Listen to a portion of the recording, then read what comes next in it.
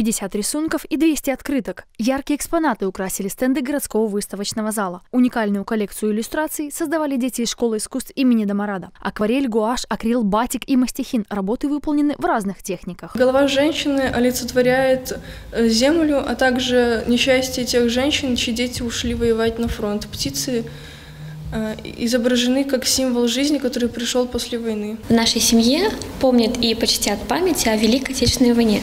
В своей работе я хотела показать, как молодой солдат, прошедший все трудности Великой Отечественной войны, возвращается домой к себе на родину. Скоро эти картинки опубликуют на городских интернет-платформах. Выставка открыта для гостей до конца мая. Здесь же проходит конкурс на лучшую открытку для ветерана. Творческие работы собирали со всего города. Открыток очень много.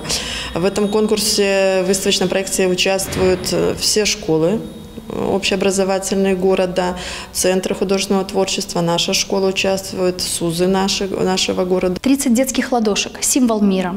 Такую идею воплотили учащиеся из-за студии «Радуга». В своих работах юные художники поделились семейными воспоминаниями. Жюри оценит идею и уровень исполнения, а победителя назовут 29 апреля. Ко Дню Победы открытки найдут адресатов. Их вручат ветеранам. Так дети говорят старшему поколению «Спасибо за победу». Мария Бушкевич, Андрей Богдан, Бобруйск, 360.